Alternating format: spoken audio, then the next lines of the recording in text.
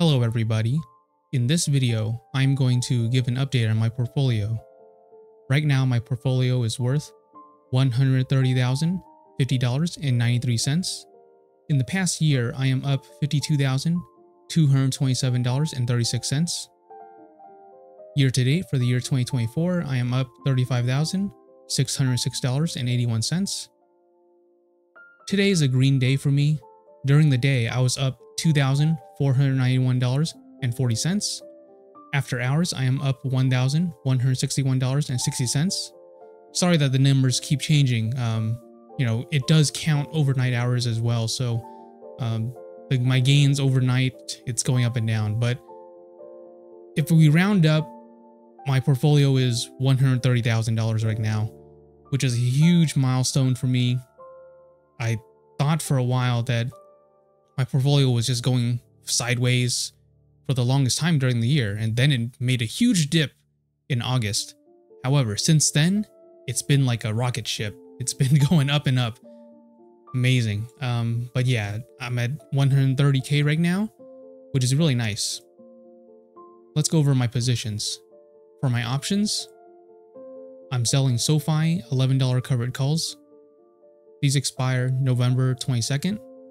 My total return, I am down $1,920. I'm selling Amazon $210 covered calls. These expire December 20th. My total return, $282. I'm selling Delta Airlines $55 covered calls. These expire December 20th. My total return, I am down $820. I'm selling Disney $105 covered calls. These expire December 20th. My total return, I am down $10. I'm selling Google $170 covered calls. These expire December 20th. My total return, $20. I'm selling Target $145 covered calls. These expire December 20th. My total return, I am down $266. I have Verizon $35, $33 put credit spreads. These expire December 20th. My total return, I am up 1,800 sorry. I am up $1,853. I have Verizon $47, $49 covered calls. Sorry. It's uh 47.49 uh call credit spreads. Sorry, I'm, I've been busy doing a lot of things right now and a lot of things are on my mind. It's election night, so a lot of different things I'm keeping up with. And anyways, the expiration date is December 20th. The total return is $700. I have Disney's $70 calls. These expire December 19th, 2025. My total return, $4,001.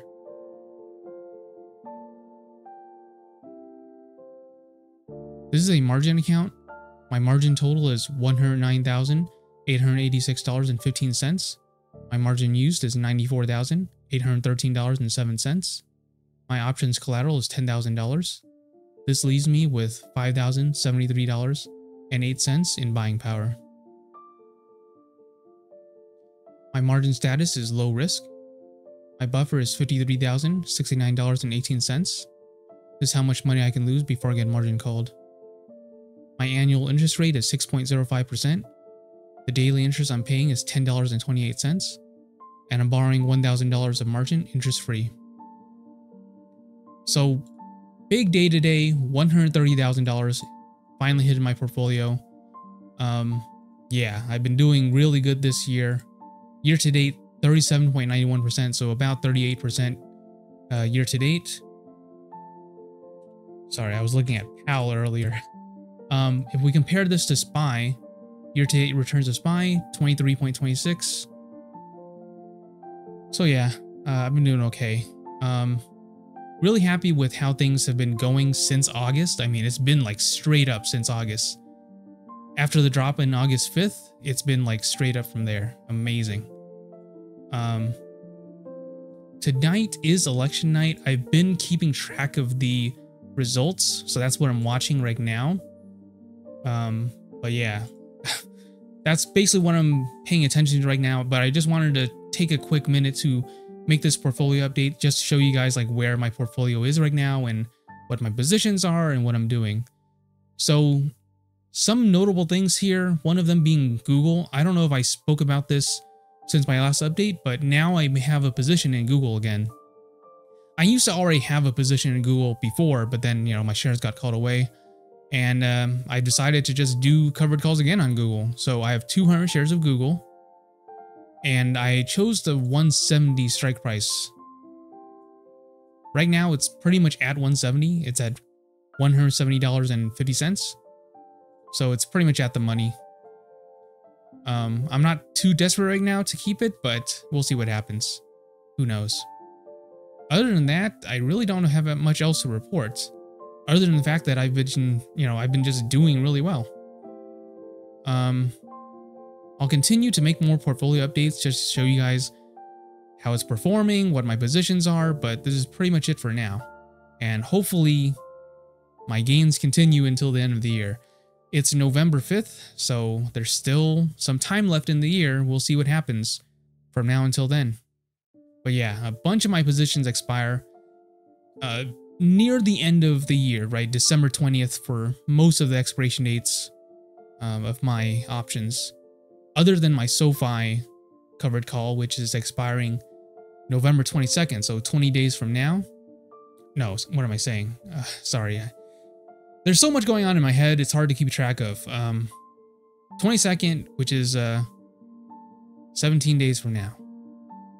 So we'll see what happens. I do think that there's a chance it could end up above $11, but if it just stays above $11, I'm gonna roll them out to a further expiration date, higher strike price. Someone mentioned that um, you know I'm losing a lot of money on my covered calls, and I'm that's part of the process. I mean, not everything will be working out the way I intended it to sometimes I do end up losing money. And it's important to show this because I feel like sometimes I get, get a lot of comments, you know, really eager to like learn how to do covered calls and like, you know, they get excited and stuff. And I think it's important to show the downside of covered calls too. You know, for example, my SoFi covered calls, I'm down $1,920. I'm, I'm down about $2,000 because I did this these covered calls.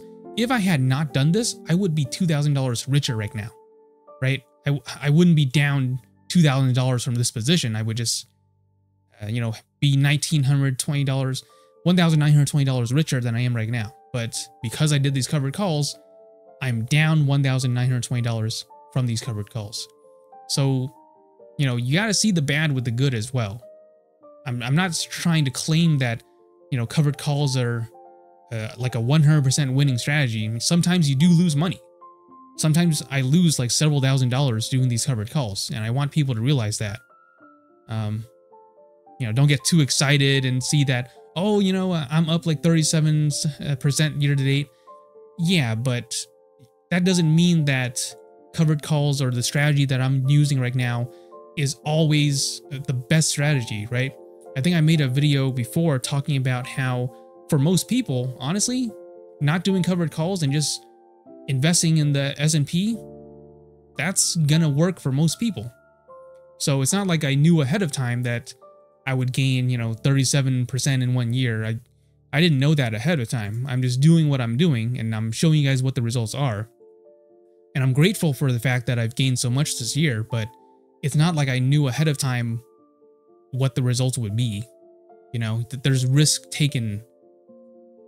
Um, and yeah, there is a risk when it comes to covered calls, and that is if it goes way above your strike price that I that you choose, you could end up losing lots of money, right? I, am down around two thousand dollars from this uh, SoFi eleven dollar covered calls, and because I chose a strike price of eleven dollars, but SoFi is above that, it's eleven dollars and fifty three cents right now.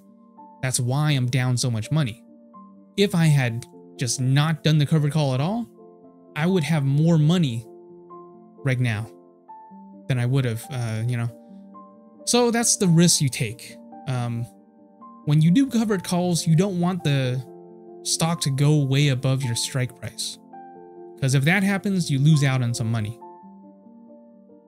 And this is one example of that. So I want to point that out, you know, don't I feel like so many people look at this and they have like big eyes, like, oh, you know, I really want to learn covered calls. I want to gain uh, thousands thousands of dollars per year. Like, okay, but the strategy is not foolproof. You know, it's it's not 100% winning strategy. Sometimes you lose out on money because you do it this way, but this is the way I choose to do it. Um, and even though sometimes I lose out on money, overall I'm happy with the results. I mean, 38% year to date. That's that that that's you know that's pretty impressive. Not many people I know can gain 38% in one year. So even though I lost out on several thousand dollars in some of my positions because I did these covered calls, overall, I'm still happy with these results. It is what it is. You take the bad with the good, you know? It's not like I go into these covered calls expecting for it to always work out in my favor. Sometimes I lose out on thousands of dollars and I'm willing to accept that risk. I know ahead of time that that's the risk going into it, so it is what it is. Anyways, um, I think I'll just end the video here because I'm rambling on too much, but I do want to point out that, you know, for the people who are not familiar with how covered calls work, but you are desperate to learn, I'm showing you now. There's downsides to it it is what it is. Anyways, I'm going to keep on looking at the election results um, for today, but that's pretty much it for my portfolio update. If you guys like this type of content, please make sure to like and subscribe, and I will keep on making more of these videos. Thank you so much for watching, and I'll see you guys next time. Bye.